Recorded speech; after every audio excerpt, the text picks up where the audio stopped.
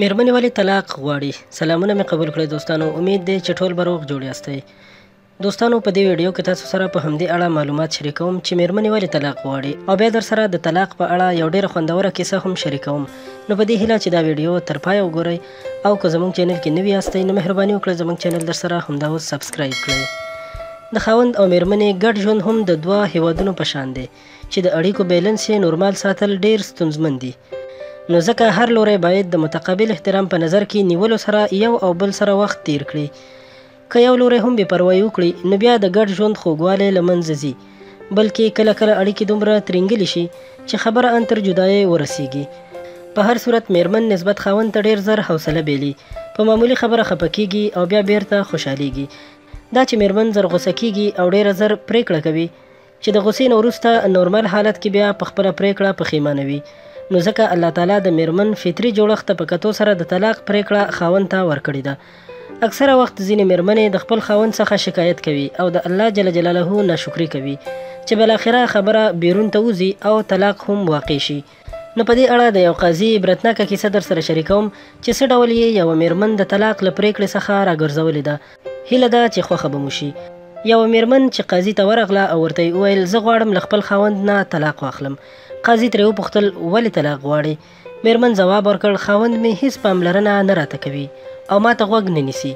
قاضي ورته وویل، زه به ستا خاوند ته نصیحت وکړم چې نور تا ته پاملرنه وکړي او ته لاړه شه له خپلې پرېکړې تېره شه. مېرمن وویل، دا هېڅ امکان نه لري، زه طلاق غواړم، بله د حل لاره زه نه وینم، نو مهرباني وکړئ زموږ تر منځ پرېکړه وکړه. قاضي ورته وویل، سمه ده زه به ستاسې تر منځ د جدایۍ پرېکړه وکړم، مګر یو شرط به ته هم پوره کوې.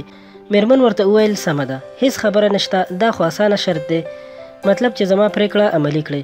قاضي ورته وویل، دا هم واوره چې کوم کیک راته پخوې د هغې ټول اړین مواد به یو یو د خپلو ګاونډیانو له میرمنو څخه را اخلې په داسې بڼه چې هرې ګاونډۍ نه یو یو شی را واخلې مثلا غوړي له یوې نه، اوړه له بلې نه، اوبه له بلې نه او اورلګیت له بلې نه او لرګي له بلې نه او داسې نور.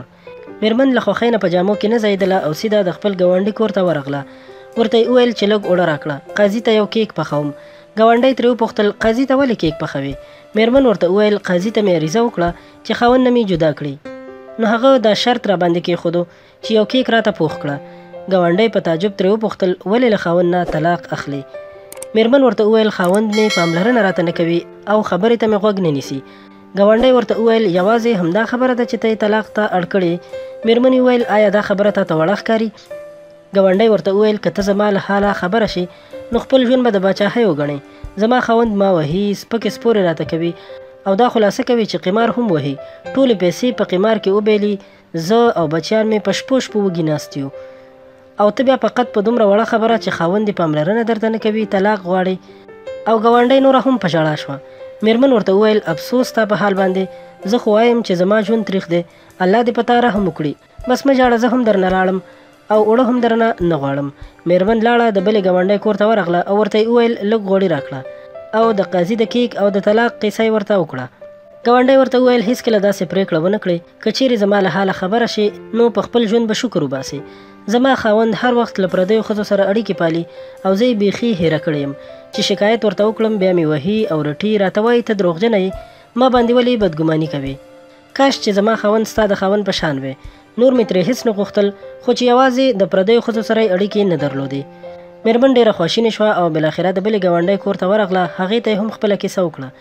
درېیمې ګاونډۍ چې د خپل تریخ ژوند څخه خبره کړه او د خپل خاوند ناوړه خویونه او د نېشې له کیسې څخه یې خبره کړه، نو مېرمن سیده خپل کور ته راغله او کېک یې خپل کور کې پوخ کړ.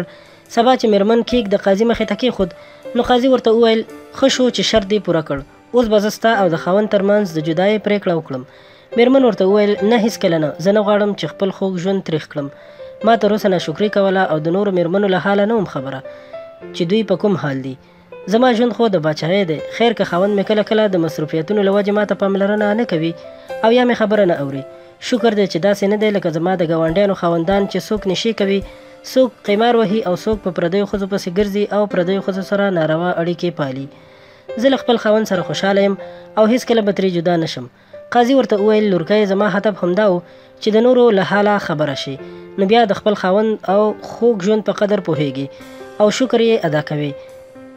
دوستانو له دې کیسې څخه دا عبرت اخیستی شو چې انسان فطرتاً د نفسي خواهشات ښکار کېږي، هېڅکله په خپل نصیب نه راضي کېږي، د ښه ژوند او شتمنۍ حرص په سر اخیستی وي. د خاوند او مېرمنې ترمنځ لفظي شخړې او د نظر اختلاف طبیعي خبره ده، نو که یو او بل ته متقابل احترام وشي، نو هېڅکله به شخړه رامنځ ته نه شي. ځینې خاوندان د خپلو مېرمنو بد خویونه نه خوښوي او شکایتونه کوي، چې بالاخره خبره تر جدایۍ ورسېږي. په ځانګړي ډول مېرمنې بیا هر وخت کبر او غرور کوي، خپل ژوند او خاوند څخه نه راضي کېږي. انسان باید هر وخت تر ځان ښکته خلکو ته وګوري. که په اقتصادي لحاظ وي او که په علمي لحاظ وي او یا که د ژوند په کوم بل لحاظ وي نو هیڅکله به له ژوند څخه شکایت ونه کړي او نه به ستونزو سره لاس او ګریوان شي دوستانو په دې هیله چې دا له پند څخه ډکه کیسه او دا حقیقت خبرې به مو خوښې شوي وي له نورو همدغسې په زړه پورې ویډیوګانو لپاره درسره زموږ چینل سبسکرایب کړئ ورسره خوا کې د بیل نشان هم ووهئ چې زموږ د هرې نوې راتلونکې ویډیو سره تاسو ته خبر درکړل شي او تاسو ترې خوند او ګټه واخلئ ډیره مننه